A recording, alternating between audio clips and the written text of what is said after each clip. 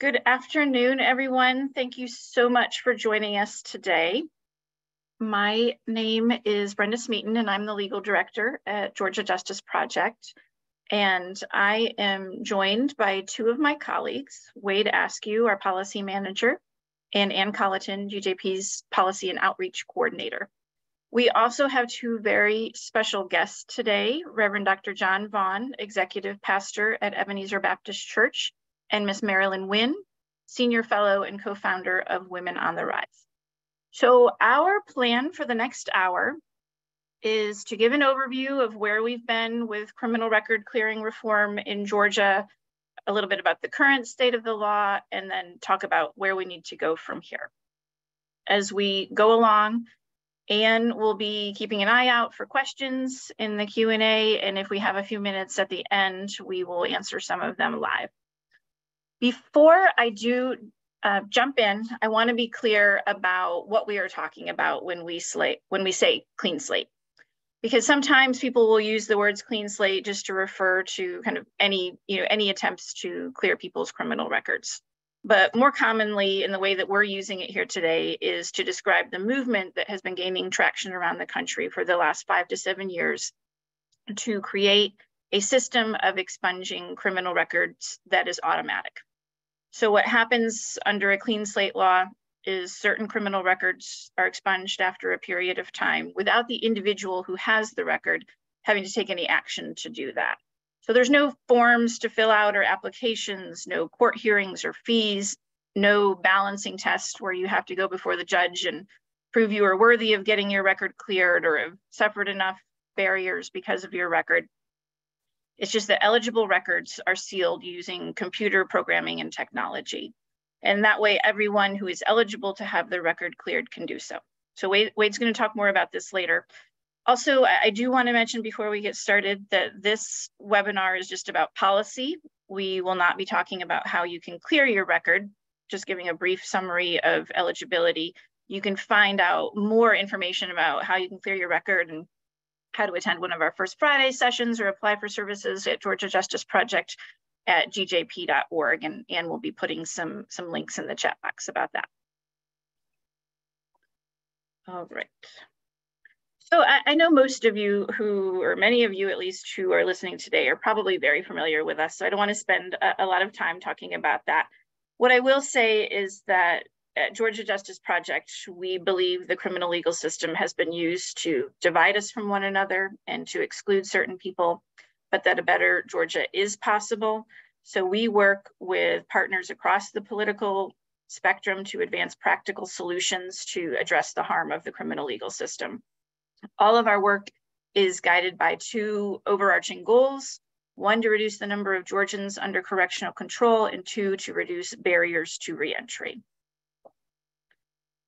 So we have been representing individuals at Georgia Justice Project for the last 36 years, and our core programs include holistic criminal defense, criminal record clearing, removing holds and detainers for people in prison, specifically one prison, the Metro Reentry Facility in Atlanta, and also assisting folks with early termination of their probation. I did want to mention two new programs that we are really excited about in October, we launched Restorative Justice Georgia, which is a program that will address felony harm through a facilitated restorative justice process. So we're going to receive referrals from uh, several different local district attorneys that we are we are just getting ready to sign MOUs with who want to participate in the program. And you can learn more about that program and how you can potentially volunteer on our website. And the other new program which will be launch, launching later next spring, is a warrant clinic. So stay tuned for more information about that. So I, I do want to dive a little bit deeper into our criminal records work because it, it is our direct representation and our history of doing that that really informs our policy agenda and our policy, how we approach the policy work to expand record clearing. So in about 2005, at the request of a few local foundations, we began representing hundreds of individuals who were being displaced when the housing projects in Atlanta were being torn, torn down to make way for development. and they could not get a voucher due to their criminal record. So we worked with an army of volunteers and we were able to get a voucher for all but two of them. And that was our entry point into criminal records. In 2007, uh, a recent law school grad named Marissa McCall Dodson came to GJP under a two-year fellowship to help us establish a permanent um, service of record clearing and also to work work to expand Georgia's record clearing law, which was very, very limited at that point. So over the next seven years, she did she did just that. So as many of you know, we lost her last year, but it's always important for me to recognize that she is always going to be a part of the history of record clearing in Georgia. So over the years, we have really worked to expand our record clearing program due to the overwhelming need for assistance.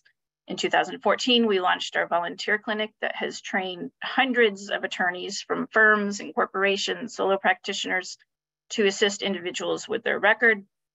In 2016, we worked with a bunch of partners in Fulton County to hold the first ever record clearing summit or event in Georgia. And that was held at Ebenezer Baptist Church, just around the corner from our office.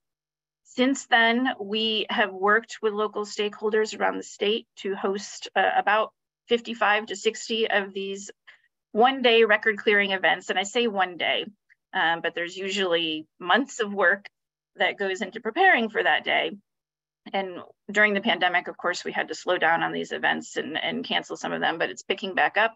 We have an amazing criminal records team and we are we are back in action moving around the state to do those events. We had one a couple weeks ago down in glynn county and we have some staff that's going to be in columbus this coming saturday.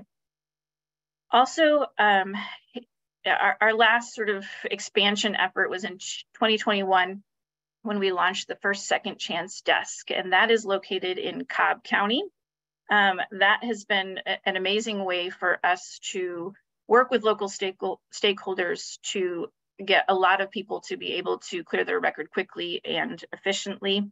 And I did want to let you know that we are working and very close to being able to finalize plans to open two more second chance desks in the state in um, in Augusta and in Athens, hopefully by, by March of next year. So due to all of those efforts to um, you know, expand our representation and services, we represented and consulted with just over 2,000 people about their record last year. And, and, this expansion is necessary and we're you know, we're, we're very thrilled that we've been able to do that, but it's still woefully insufficient to meet the demand for record clearing due to the scope of the issue of criminal records. And this is why Clean Slate is really needed. So anyone who has ever been arrested for a fingerprintable offense has a, a criminal record in Georgia. In Georgia, 4.5 million people have a Georgia criminal history. So of course, this is this is a huge, huge number. Many of them were never convicted or they were, um, many of them were convicted of misdemeanors. So a misdemeanor is any crime where the potential sentence is a year or less. But over um, 645,000 of them have been convicted of a felony in Georgia. And we all know that felonies can impose the, the steepest barriers for folks that can often last a lifetime. And a felony is any crime where the potential sentence is, is more than a year. So, and also I just wanna know that in spite of the fact that um, you know, over somewhere around 62 to 64% of the people convicted of a felony in Georgia are not sent to prison. So they're not deemed a threat. They're still in our communities. They receive a sentence of probation only, but still they pick up this mark of having a felony on their record that can impose a barrier to them. So why do we care about criminal records so much at Georgia Justice Project? Um, so there's many reasons. First and foremost, there are racial disparities in both who gets a record and how those records are used to deny people opportunity.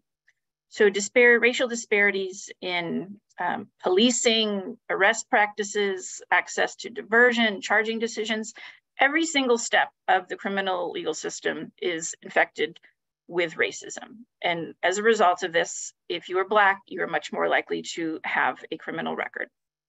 And then once you get a criminal record, it is much more likely to be used to deny you opportunity. So, for example, there have been some studies that looked at the, the effect of having a record. And one study found that any job applicant um, or a job applicant that has any criminal record at all, even just an arrest, um, has about a 50% lower chance of getting a call back for an interview than an applicant without a record. But what the study found is that if you're Black, that negative impact of having a record is much more pronounced. So when we're dealing with criminal records and employment and housing, we're dealing with the intersection of discrimination against people with records and racial discrimination. Collateral consequences, uh, I think most of you are probably familiar with this idea. So these are the, you know, the over 48,000, some people say on up to 52,000 laws and regulations that deny opportunity um, through for people with a record.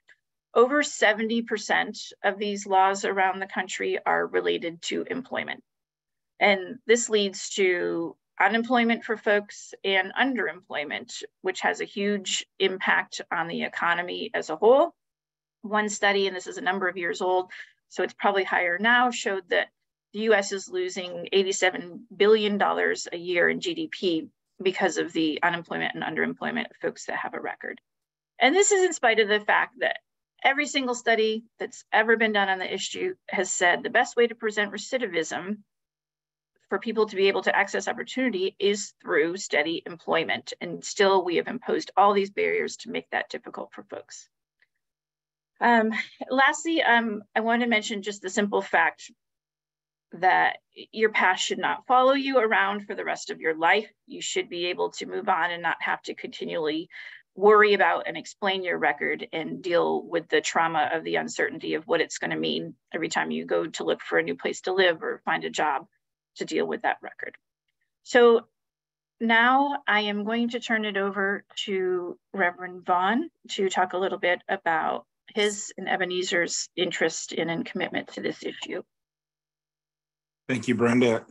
So, as Brenda mentioned, we got involved as a congregation in 2016 in terms of record restriction work. And it was, and that was really the moment where folks actually would come, you know, would line up and and then would come into the church and there would be multiple tables.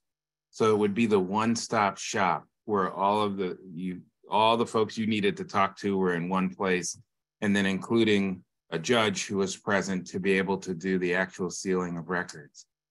And I have to say that Pastor Warnock oftentimes says that this was one of the proudest moments of his ministry to see people who could come in that day and really get their record restricted. And all of a sudden, it just opened all kinds of doors for people one of the things I think was important for us as a church and why we were approached was I think folks needed needed to feel there was a trust that they could that this wasn't a sting, it wasn't a, you know, it wasn't a, a ploy, but that this could actually be a real ministry and opportunity for folks. And so we were really excited about that one. And then we did a follow-up record restriction event at the temple.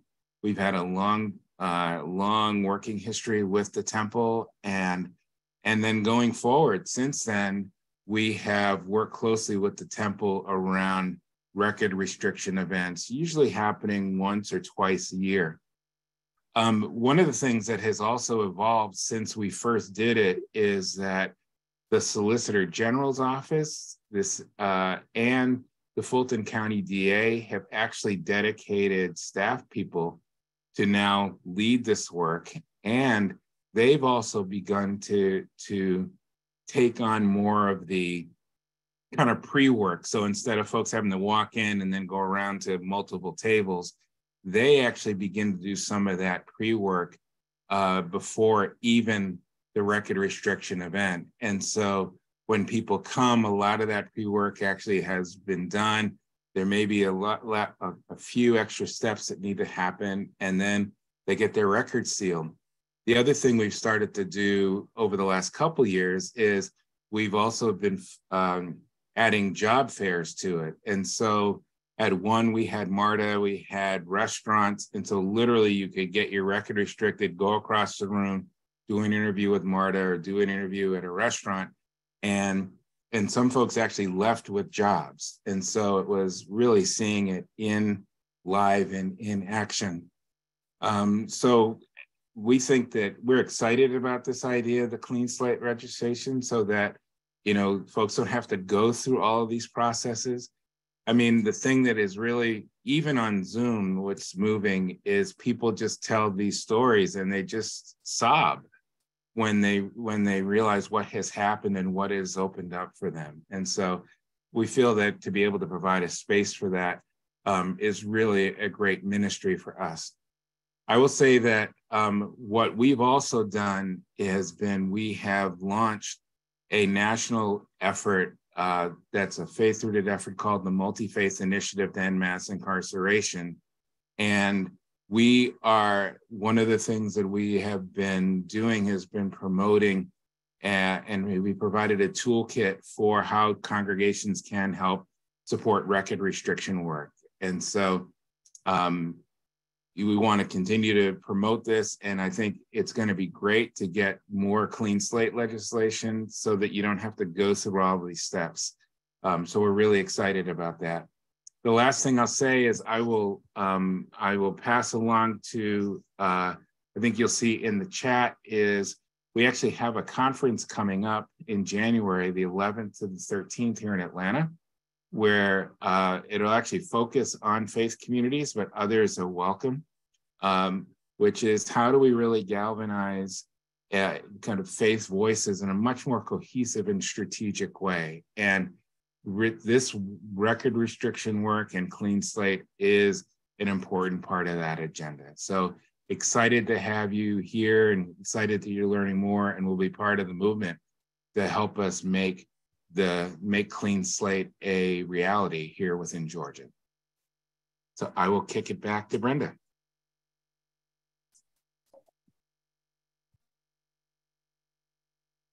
Thank you so much, Reverend Vaughn. Uh, we appreciate your partnership um, and all the important work that you and the faith community do to help shift the narrative around people with criminal records, you know, who are our neighbors, our, our brothers, our, our, mothers, and um, really try to get rid of these ideas that people have about who it is that has a criminal record. So thank you so much for being here today.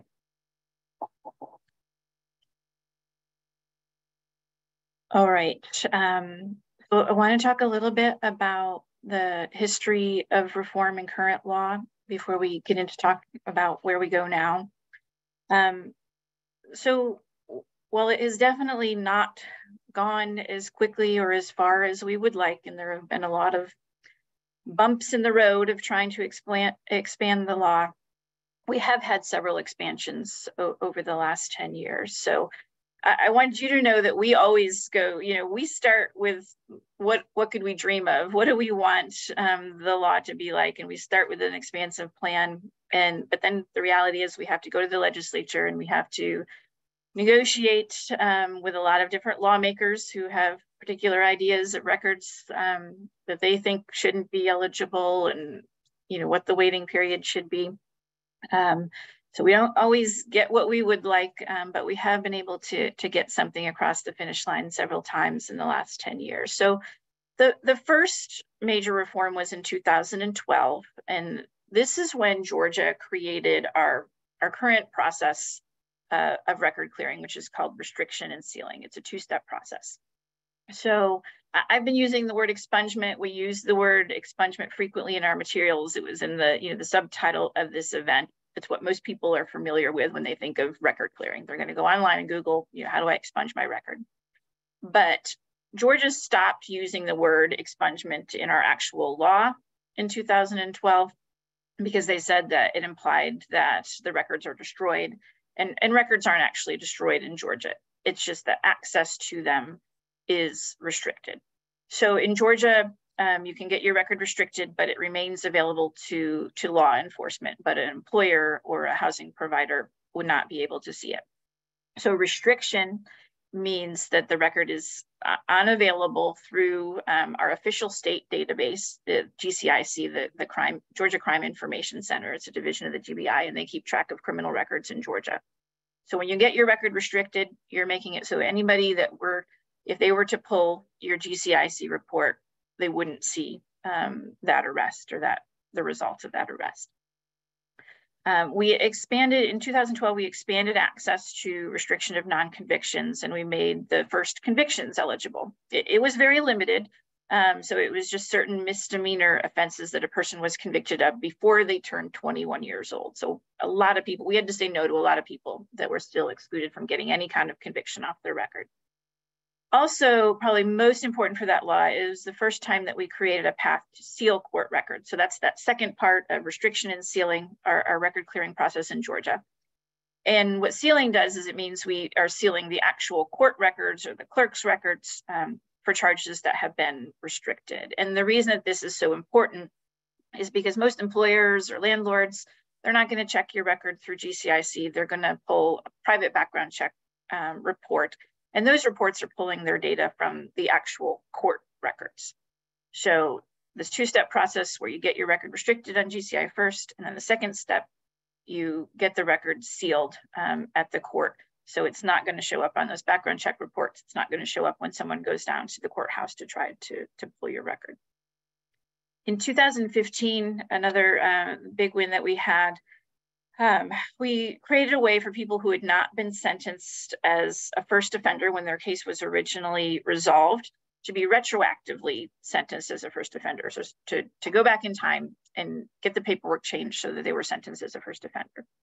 So under the First Offender Act, if you're familiar with it, if you have no prior felonies and you've never used first offender before, you can be sentenced under this law. And if you successfully complete your sentence, then it's not a conviction at all and then it can potentially um, be, be, both restricted and sealed from your record. So this law allows us to, to do just that, to go back in time and get first offender for people that should have received it the first time around when their case was being handled. Our biggest gains in expungement eligibility came in the 2020 session um, with Senate Bill 288, which was sponsored by Senator Tonya Anderson.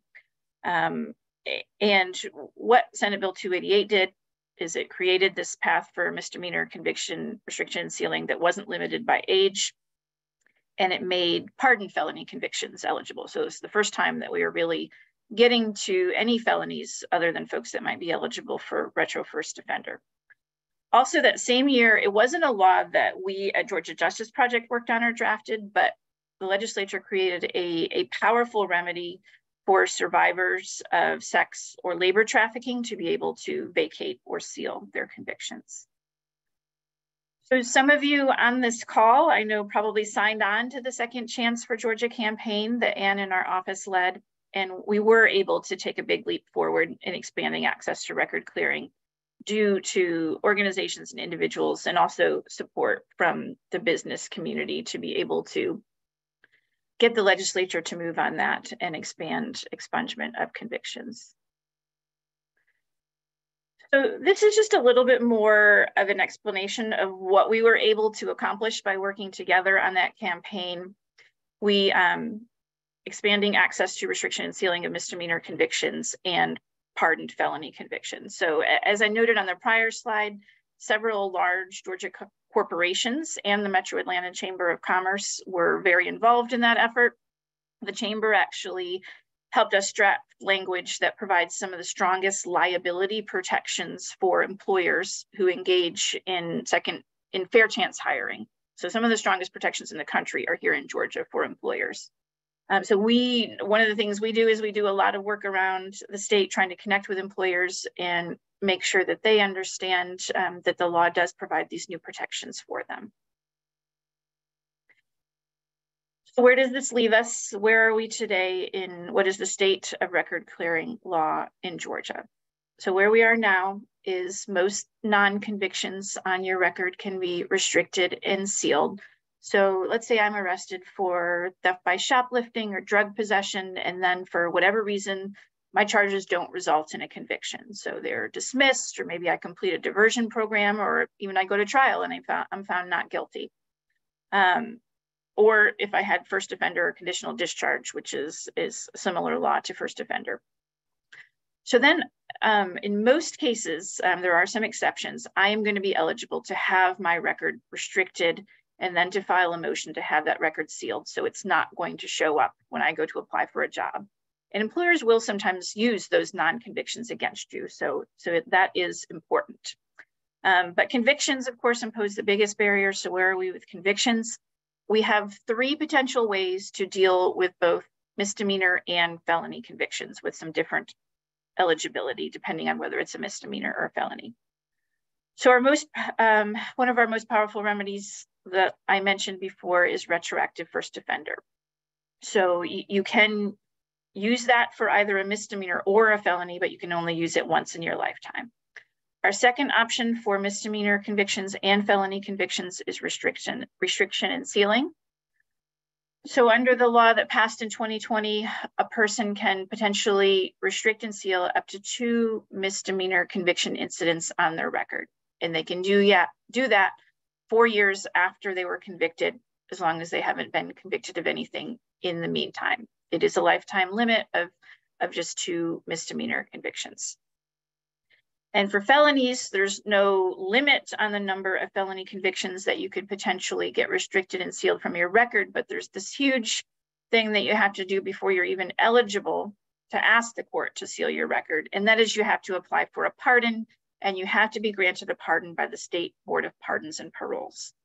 So that is a remedy that's available to a small number of people, people that, that obtain this pardon. It's about 450 to 500 people a year in Georgia that are able to get a pardoned felony, um, a felony conviction pardoned, and then they can go to the court and ask that to be restricted and sealed. There are some, for every category of record clearing, there are some excluded offenses. Um, and lastly, as I mentioned, the Survivors First Act, which allows us to clear records of convictions no matter what the offense was. Um, a lot of times people might associate um, trafficking, like sex trafficking, with just prostitution offenses or something like that, but it doesn't matter what the offense was. If you were convicted because um, because you were as a result of being trafficked or while you were being trafficked, we have a powerful way to try to vacate and seal those convictions. So if that's something that might apply to you or someone you know, please please come see us about that.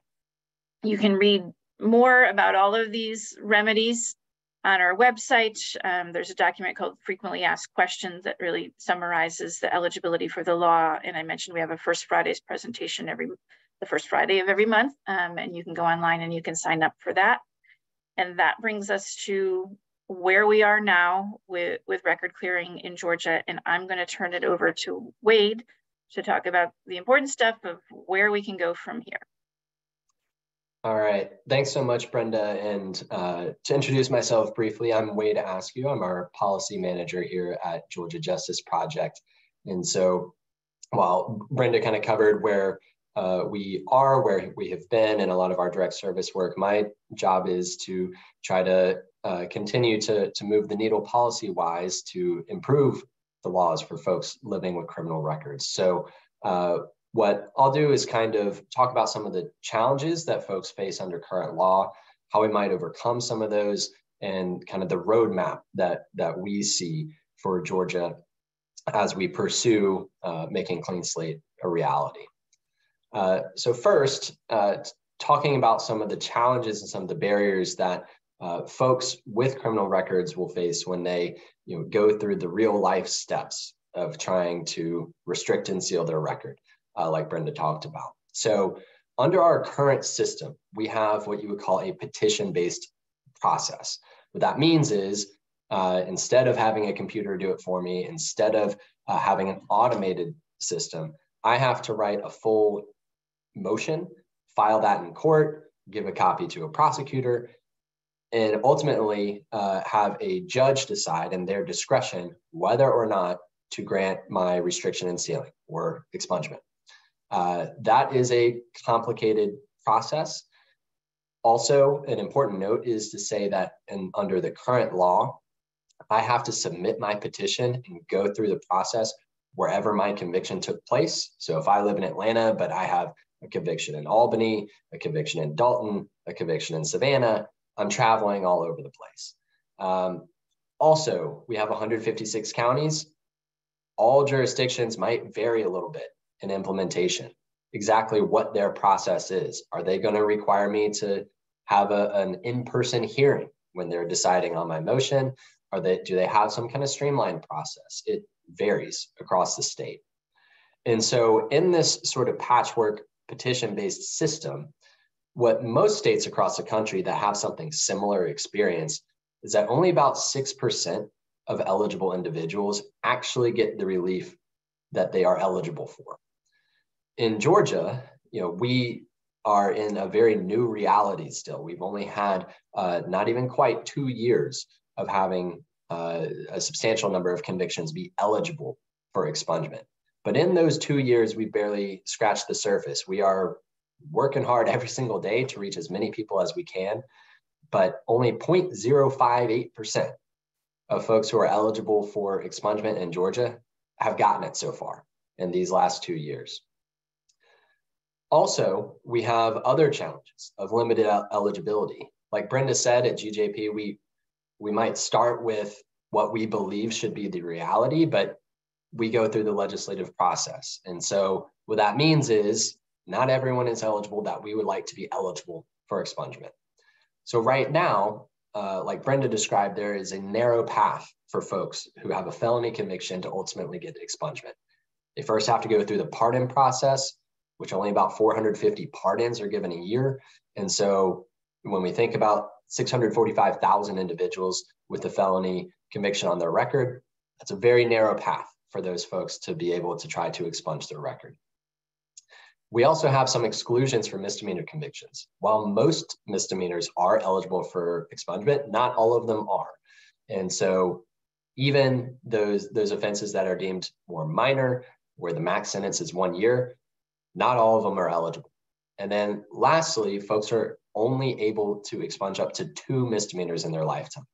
So for those who have three plus misdemeanors, they have to pick two under current law. So the uh, a solution to this in our next slide is a, potential solution would be clean slate. Um, clean slate would really address many of those process-based challenges that we talked about. As Brenda described, clean slate refers to an automated process of record clearance. No more petitions, no more traveling throughout the state, no more finding an attorney to write a motion for you.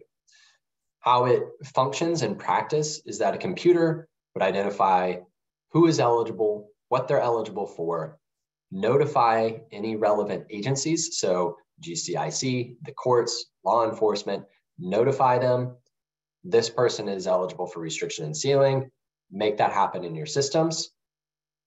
And then the records are updated in all relevant systems. So, so that entire process should just be a computer automation, does not require human intervention. The benefits of this, the, the, the really top level benefit is that it expands the benefit of expungement to those who are eligible. Uh, instead of having just a fraction of people who could get the relief get it, we have a much, much, much wider, hopefully everyone who's entitled to the relief gets it, thanks to the computer just automating the process. And of course, that benefit goes from the individuals with the records, but also it, it ripples out into communities, the economy at large. We, we know that the entire communities, employers, the workforce, everybody, all those actors benefit from expungement. It also significantly reduces the burden on courts. So courts, prosecutors, defense attorneys, other government actors, law enforcement agencies, under the current process, a lot of human work is required. And so a clean slate system from those uh, on those levels would also help ease the burden because a computer now automates what humans are having to do now. And so this, this move to clean slate is a national movement.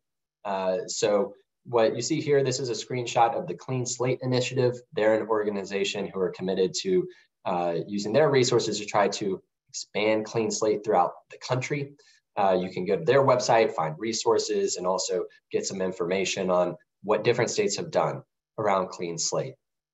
And so while you know, we we will kind of lay out our anticipated roadmap for moving Georgia. Um, we would not be the first ones to do this, as I'm sure everyone here knows that other states have taken steps to automate their their processes, and hopefully more and more states will look to do that. And so, with that, I'm very happy to pass the torch to Miss Marilyn Winn, our our friend and a leader in the community. She is the senior, a senior fellow and co-founder of Women on the Rise. So, Miss Winn. All righty. Good afternoon, everybody, and thank you, Wade and uh, Georgia Justice Project. I'm always so happy to be a part of these discussions when they come up. I have been, um, first of all, I am the senior fellow and co-founder of Women on the Rise, which is an organization that I created just to do what Georgia Justice Project is doing for women that are coming out of the system. Um, I have been a recipient of just about everything that Georgia Justice Project has uh, won over the many years that I've been involved. I, it's been so long, I can't even mm-hmm. think of how many years that I've been involved. Um, but I know that when I first started with Georgia Justice Project, I had so many um, convictions and felonies and been in prison so many times. There was really nothing that they could do for me from the very beginning. But as time passed, Georgia Justice has been on top of all the laws that have uh, basically um, given people alternatives to, to sentencing. And not only that, being able to help people get jobs, get housing, so they don't have to return to the system. I, like I said, I have been a recipient of maybe every piece of clean slate legislation that uh, Georgia Justice Project has uh, put forward and won. Um, and you know, I would, and I'm a part of the National Clean Slate um, organization as well. And I work to my my my goals and my dream is to be in a state where you don't have to uh, petition for a pardon. I remember when Brenda and I did my pardon, I think it took us about six months or maybe more for her to complete my application for the pardon because I had been arrested so many times. But I did get a pardon. I was able to be, I think, maybe the first person that received the, the uh, record restriction on one of my felonies. Again, um, that was wonderful. And if I had been a person with one felony, that would have been uh, a lot better. But me being a person with maybe, I don't know how many I had, maybe 10 or more, um, clean slate could do a lot more. There could be a, a better way to do this. Instead of petitioning, I call it record redemption because uh, that's what it is. And when we are arrested and we come home and we think we're done and we try to get a job, we try to get housing, that's when we realize we really didn't receive a five-year sentence, but we received a life sentence because that don't happen for us. And with the new clean slate law, I would love for Georgia Justice Project to take on a new um, legislation where people actually don't have to, I mean, petition the courts, petition the board, board of pardons and paroles, but maybe after 10, 15 or 20 years, if a person have not committed a crime, that their record would uh, be restricted from housing, employment, medical.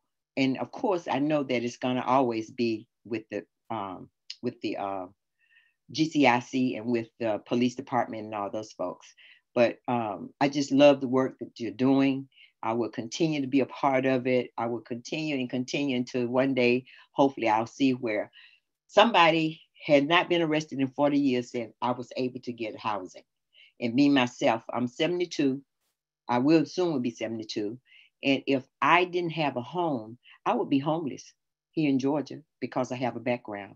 And all of my background cannot be restricted. So I would love to continue to work with Georgia Justice Project and be a part of what they're doing to make this come this this dream come into fruition where people can actually after 30 or 40 years can actually walk into a senior high-rise building that is for seniors and say i want an apartment and they don't be turned away because of something they did 30 or 40 years ago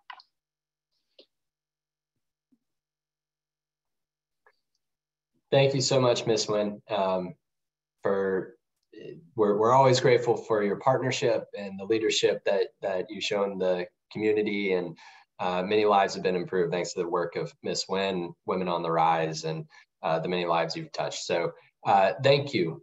We'll be and, continuing to doing that work. Thank you. So, you know, we'll, we'll kind of, in our remaining time, close out by talking about, uh, like I said, a little bit about what other states have done around Clean Slate, and then specifically what we think the roadmap can be here in Georgia. So this again is from the Clean Slate Initiative website. It, it, shows you a number of states that have already enacted clean slate legislation, as well as a number of states that are uh, on the way to enacting clean slate or, or have some pending bills in action. Now, the, the next slide will kind of show us a little bit about what clean slate looks like in those states that have begun to implement clean slate. So you'll see here that it's different everywhere. Uh, and a lot of states have kind of gone through an evolution in their own clean slate journeys.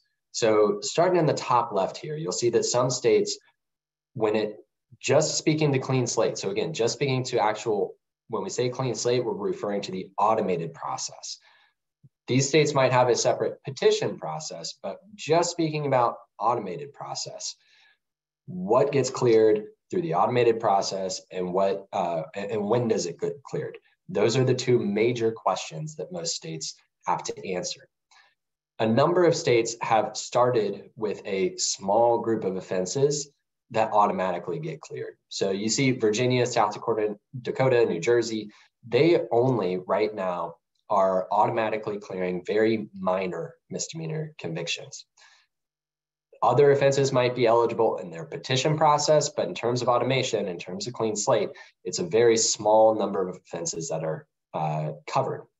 Now, as you, you look at the other states, we have some that cover most misdemeanors, maybe anything that, uh, any arrest that didn't lead to a conviction. Then we have states that are kind of the furthest down the line at saying, okay, misdemeanors and some felony convictions are all under our clean slate statute. And so a number of those, even that are in that misdemeanor and some felonies bucket, they may have started much, much uh, smaller. So some of them started around, hey, we're only going to automatically clear marijuana possession. And then they expanded, and then they expanded, and then they got to where they are today. And so when we're looking in Georgia at, at clean slate, it might be a journey uh, both in terms of eligibility, what our wait times look like, those things, because that's what we've seen in a number of states. Uh, also, just the last note is that you, you, can see here that clean slate doesn't solve everything. So like I said, uh, they, there still might be limited eligibility. There still might be uh, long wait times. So for some of these states, it's 10 years. So it clean slate in and of itself doesn't necessarily solve every single issue. So we will be trying at the same time to move towards clean slate, move towards automation to solve some of our issues, but at the same time be working on some of our other issues that clean slate in and of itself won't fix. So coming back to Georgia, um, looking at specifically the road to clean slate, we've talked about some of the challenges for I'm an individual, I need to clean my record here today. What are my hurdles going to be? But let's talk about a little bit of the challenges of moving towards this automated system in Georgia. The first challenge that we have as a state in moving towards clean slate is we have a complicated court system, a non-unified court system. What that means and why that matters is that instead of all of our courts feeding into one data system, remember, this is all about computers and data and automation. Instead of everybody feeding into the same system, we have 156 counties. They've got multiple courts. Each of those uh, are using their own data system. And then they're supposed to manually, essentially, take their data and feed it into GCIC, uh, basically a central repository of records. And so, as you might imagine, in that big of a system where everyone's kind of doing their own thing and then supposed to be feeding in uh, to, to one system, there's missing data. And when there's missing data, that means for clean slate, some people might miss out on the relief. And so what, what we need is to improve our data systems so that they are reliable and they're complete so that everybody who needs the relief gets it when a computer goes through and searches for who's eligible. There was a bill this last year, SB 441, that was aimed at improving our data systems. Really what it did was try to, and is doing, is trying to improve that uh, relay of information from the court level to GCIC. So that is just now uh, coming under implementation. So it's something to track uh, and, and, something that, you know, again, we, we, we need that process to get better to have a clean slate system that reaches as many people as possible. We also have practical issues like some courts or some law enforcement agencies might have old record old records in physical files instead of on computers. So we don't want those old records that are in physical files to be missed. Uh, and then lastly, as, as Brenda described, we've got our expungement is a two-step process. So we need automation both for the restriction and for the sealing. Now, we also have our challenges around eligibility, and th those can feed into uh, things that need to be remedied for a clean slate system, again, to work as efficiently as possible and for the most people that we that we can reach. So first is the misdemeanor lifetime limit. So the, the fact that folks can only have two misdemeanors expunged in their life. That's problematic for a couple of reasons. The most obvious is folks who have more than two minor offenses in their life are stuck having to pick two and leave the rest uh, not expunged. But then also when we put it in the context of clean slate, it's a whole lot harder for a computer to say, okay, this person, uh, you know, I found a misdemeanor conviction. I need to match it to a person. Ooh, that person has three or more misdemeanors. Does the computer now pick two? What happens? It, it, it just becomes unworkable. So we need to get rid of that lifetime limit, both to help folks in that situation and also for in the future when we hopefully move towards an automated process that it can work, that it can work well, uh, that the computers can just simply handle, I see a misdemeanor, it is eligible, move forward. Also, like we talked about, felony convictions, we have very limited eligibility. Um, we, we talked about having to get the pardon first. One thing to note, uh, we showed in the other states the timing, the, the wait periods that folks have to, to go through in order to expunge their record in a, in a number of states. Here in Georgia, we have the longest probation sentences in the country by far. You can only apply for a pardon five years after your sentence is complete, with sentence being defined as you're done with probation. Um, so what that means is folks are very often have to wait a very long time before they get a pardon again, funnel that back into clean slate. That, that means even if we automate the system under the current eligibility, uh, folks are still having to wait a long time to get the relief that they need. So with those in mind, here is just kind of a snapshot of the roadmap that we see to move towards clean slate and getting the most people the relief that, that they are entitled to and that they need. So first is to clean up current law.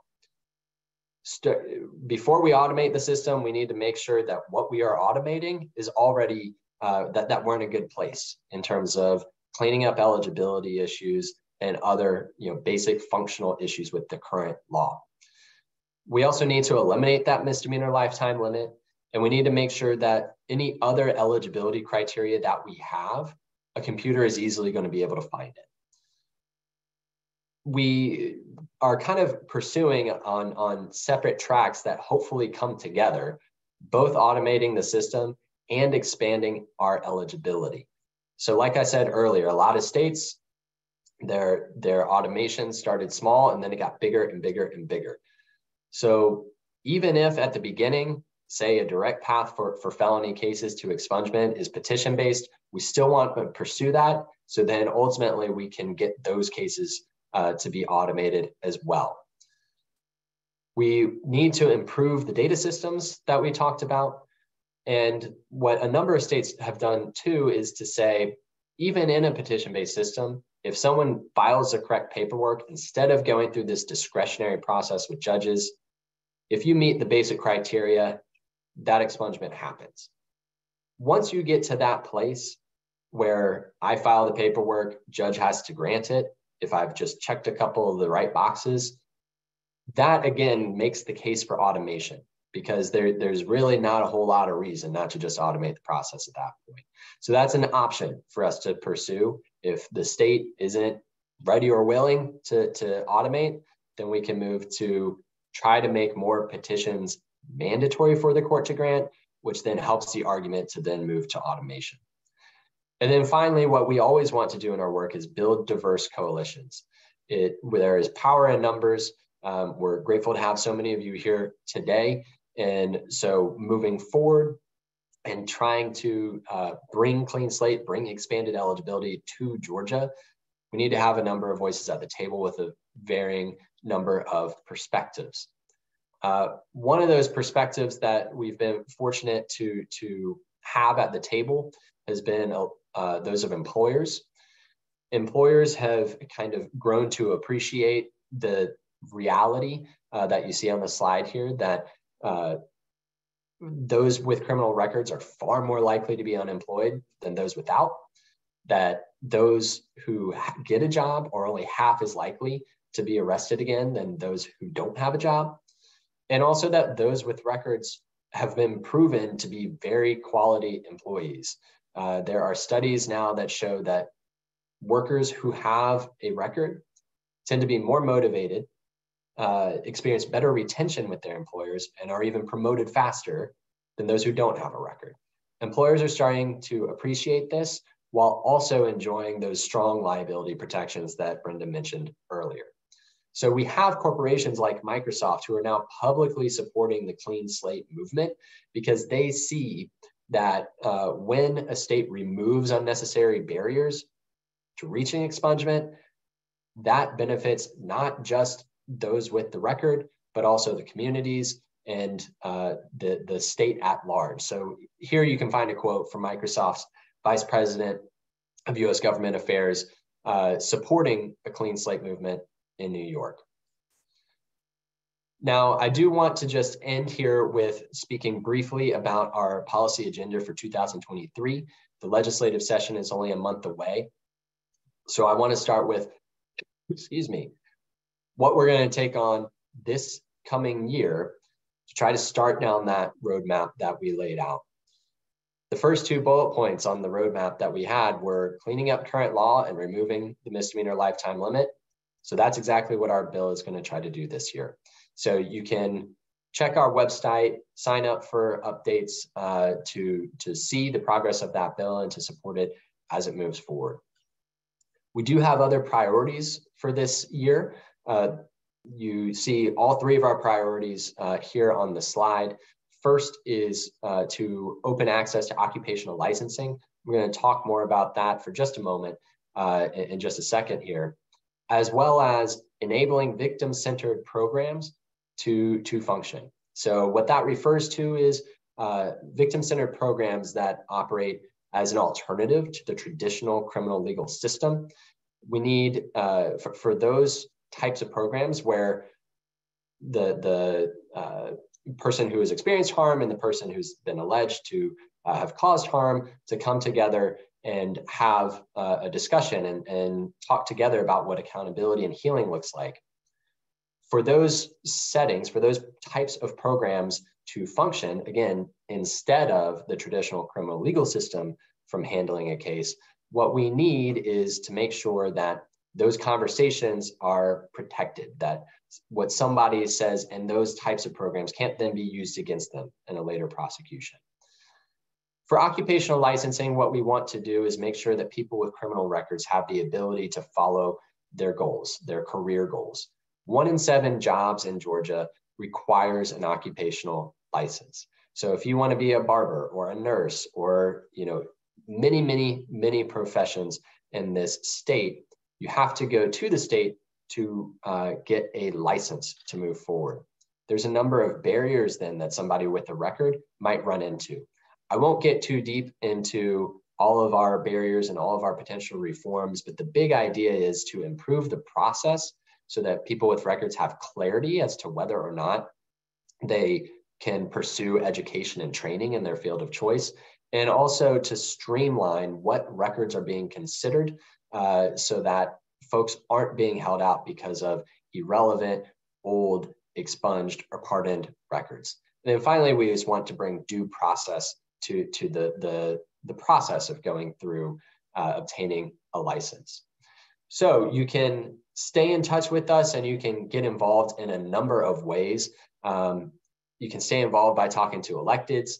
Uh, you can host events on the grounds, like the expungement summits that Brenda described, we work on, working with prosecutors, working with your local judges to try to expand relief to the most amount of people possible.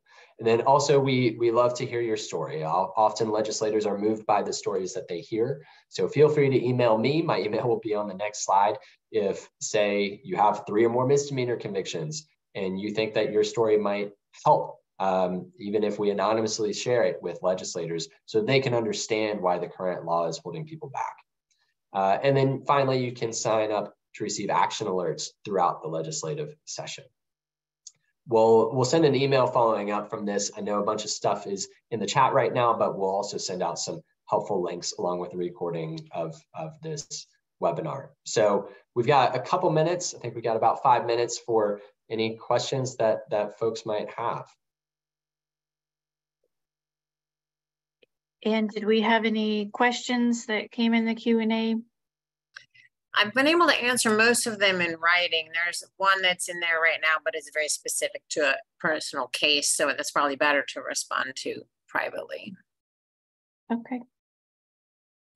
Um, oh, can we put our contact information up for the host again? Sure. I um I'll put it in the Okay, yeah, if you can put it in the chat. And I think we're probably going to send the slides out afterwards. Is that right, Anne? Yes. Mm -hmm. Okay. Well, we really appreciate everyone being here with us today and all the the support that you have shown that in the efforts to get us to this place. We know we have a long ways to go, um, but you know we're looking forward to to being on that hopefully short journey with you to to get to a better place and to get to clean slate. So thank you so much, everyone one more question that's in the chat, oh. which I think is a really good one. Okay. Is what resources, federal or state grants, exist to help counties convert thousands of manila court case files and dozens of papers into each digital case management systems? Yeah, there there are some federal funds out there for that purpose. Um, you know, obviously that's not something that that we can facilitate. Um, we really we need to get some state actors who are really invested in the idea of improving the system and moving us towards a unified system. And our hope is that that, that bill that Wade talked about that passed this year that created this committee to look at the data issues will um, will result in some of that interest and commitment to pursuing that. So far, um, we haven't been too excited about the movement that that committee has shown. Um, but we know that there are leaders like the, the Metro Chamber and the Georgia Chamber that are very invested and probably have you know more sway down at the Capitol than we do. So hopefully they'll they'll continue working on um, cleaning up those data issues so that we can move closer to clean slate.